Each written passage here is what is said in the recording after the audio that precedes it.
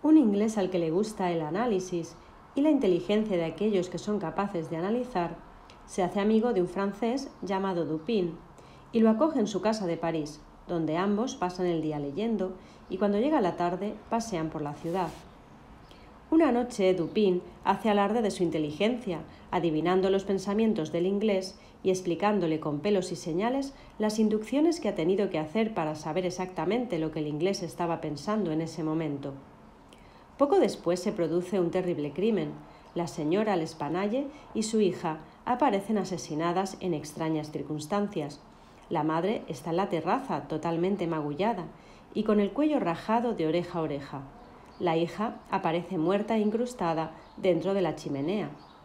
La policía es incapaz de entender qué ha podido pasar.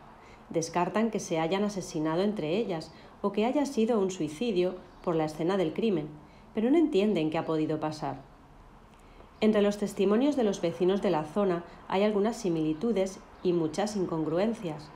Hay un vecino español, otro italiano, otro holandés, y cada uno escuchó algo diferente.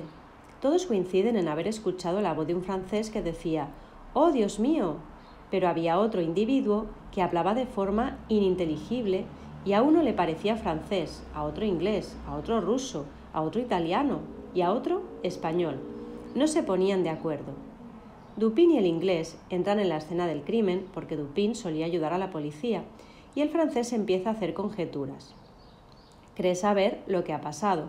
Se fija en la ventana y se percata que los clavos salen y entran perfectamente al abrirla y cerrarla, por lo que alguien podría haber entrado por la ventana y haber salido sin que se pudiera percibir desde dentro. Dupin y el inglés están en su casa y el francés le dice que pronto recibirán la visita de una persona implicada en el crimen. Efectivamente, aparece un hombre, Dupin había puesto un anuncio en el periódico diciendo que se había extraviado un orangután y que si alguien era el dueño, fuera a su dirección. Aquel hombre, según Dupin, no era culpable. El culpable era el orangután. Dupin le pide al hombre que cuente lo sucedido.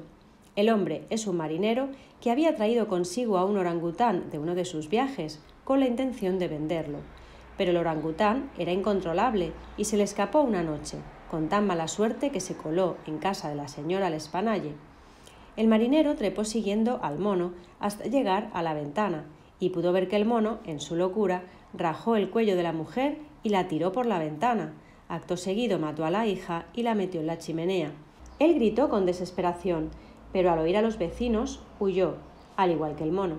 Más tarde encontró al mono y lo vendió.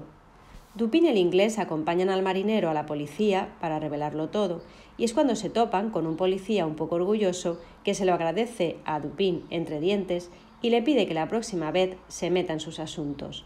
Fin.